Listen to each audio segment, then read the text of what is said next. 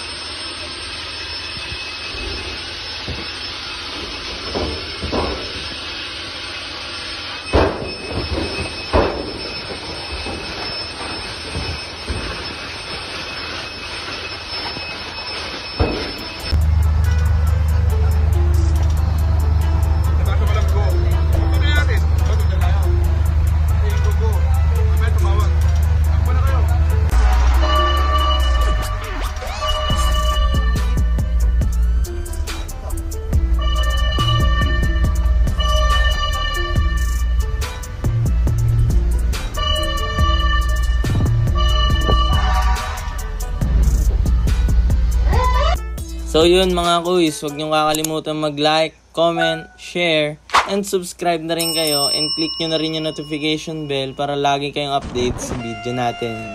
Bye!